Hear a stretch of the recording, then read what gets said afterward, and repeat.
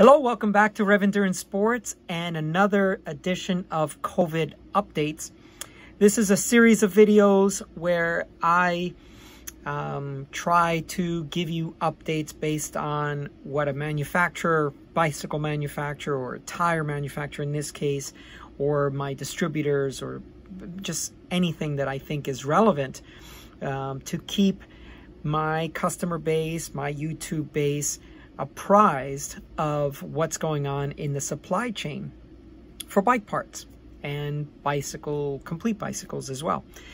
Um, so before I go into the topic for today, if you would please subscribe to the channel and hit that notification bell so that you know when I've posted a new video. Uh, today is September the 13th of 2021 and uh, we're at 528 subscribers and I appreciate each and every one of you. So thank you so much for subscribing to the channel. Okay, let's talk about the other German tire brand out there. And uh, more or less like the little brother of the behemoth in the tire industry, which is Continental.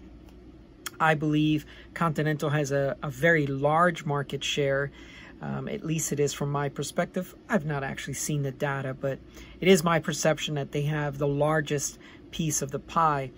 But the other German uh, tire manufacturer that I like as well is Schwalbe. And it's a German company, so they probably have a, a, a, much different way of pronouncing it, but that's how I pronounce it.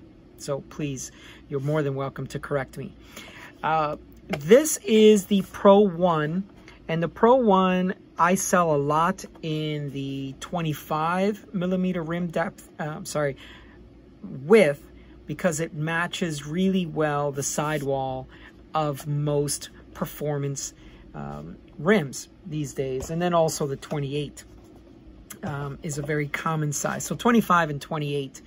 And it, um, you know, based on aerodynamics, you want that tire sidewall to be nice and flush with the rim sidewall of the wheel that you have chosen. Wheels have gotten wider and wider, uh, but for most applications, 25 rim width on the outside and possibly even as much as 30 that I've seen uh, from manufacturers like Zipp for their wheels.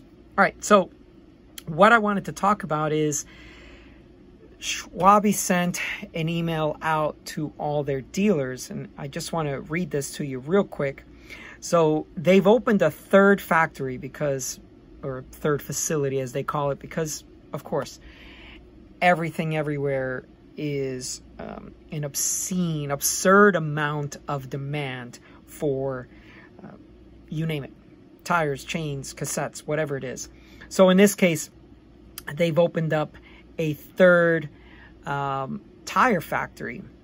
And they said it should be operational by the fall of this year and, um, you know, producing more tires uh, going into 2022. So, you know, basically they've had the same issues that everyone else has had.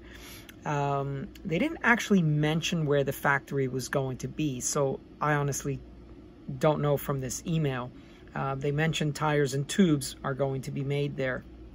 But, um, you know, that's one of those situations, again, where even if you hire more personnel, maybe that factory has a limited capacity. There's only so many assembly lines or there's only so many uh, square footage in which to produce um, your product. And maybe space as far as how many people you can have in a certain space safely operating. So they've had to build a third tire facility. It's good news for us. I just hope that at some point we just don't have this glut of inventory and then, you know, prices, um, I don't know, whatever can happen when you have too much of something and now the demand is fine. You don't have as much demand. But anyway, um, just wanted to tell you a little bit about the company in case maybe you've never heard of Schwalbe. I think some people, um, once they find a tire that works for them, they kind of stick with it, and that makes all the sense in the world.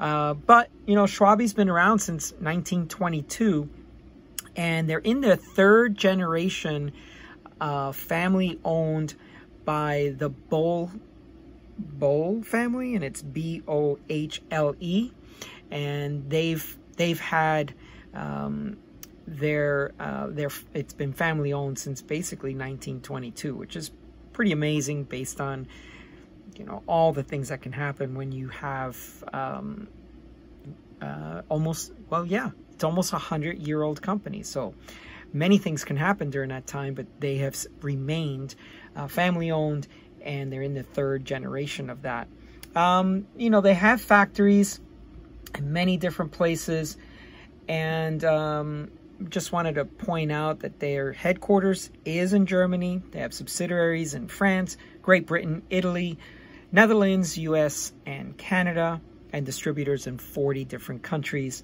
And a production partnership with Korean tire manufacturer um, called Hung A.